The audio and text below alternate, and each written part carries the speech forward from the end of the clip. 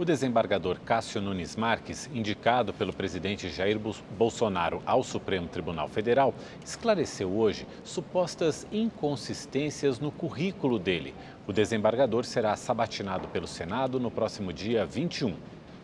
Os questionamentos surgiram porque no currículo disponibilizado no site do Tribunal Regional Federal da Primeira Região em Brasília, onde Cássio Marques Nunes atua como desembargador, aparecem um pós-doutorado e uma pós-graduação que supostamente não teriam sido cursados. Nesta quarta-feira, Cássio Nunes divulgou uma nota com oito páginas. No documento, ele esclarece detalhadamente cada situação.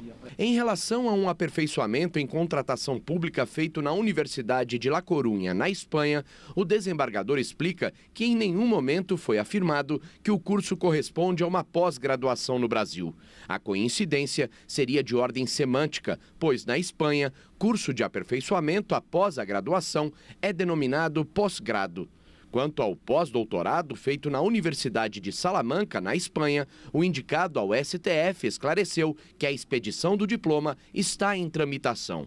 Com as explicações, o desembargador acredita ter esclarecido todas as dúvidas sobre o currículo dele, colocando assim um ponto final em qualquer suspeita e questionamento sobre o assunto.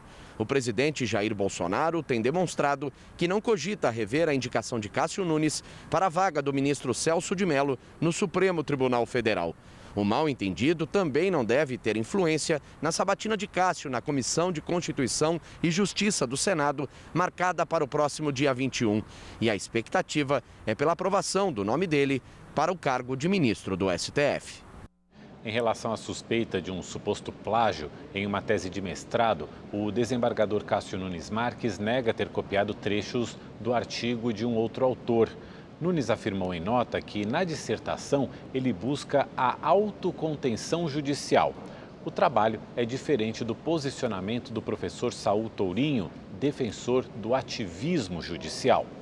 Ainda segundo a nota, a coincidência das citações apontadas provavelmente decorra da troca de informações e arquivos relacionados a um dos temas abordados a partir de palestra em seminário que participaram em 2012.